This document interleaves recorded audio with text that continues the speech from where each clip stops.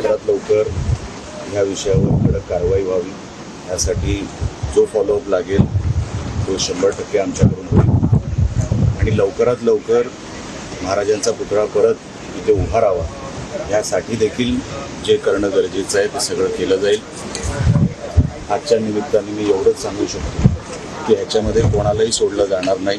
ज्यांची चूक आहे त्यांना योग्य ती कारवाई आणि कडक कारवाई ही त्यांची बोलणारे काम करत नाही आणि काम करणारे बोलत नाही. आम्ही काम करून दाखवू. अतिशय भव्याचा पुतळा उभारून दाखवू. काल मुख्यमंत्री महोदयांनी आहे तसाच पुतळा पुन्हा एकदा उभारण्याची घोषणा केलेली आहे.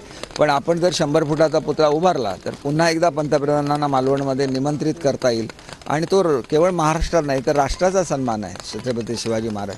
तर तेवढाच तो भव्य असावा असं मला स्वतःला वाटतं.